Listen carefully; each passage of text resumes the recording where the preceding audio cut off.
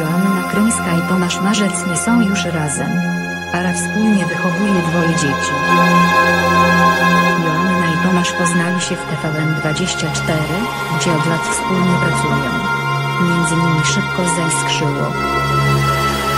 Ich ślub odbył się w 2011 roku w Siemiatyczach. Doczekali się dwóch synów, Franka, 7L i Jasia, 4L. Niestety, ich małżeństwo nie przetrwało próby czasu. Małżonkowie niespodziewanie rozstali się, a do tego prezenter ma już nową partnerkę, którą niedawno pochwalił się na Instagramie.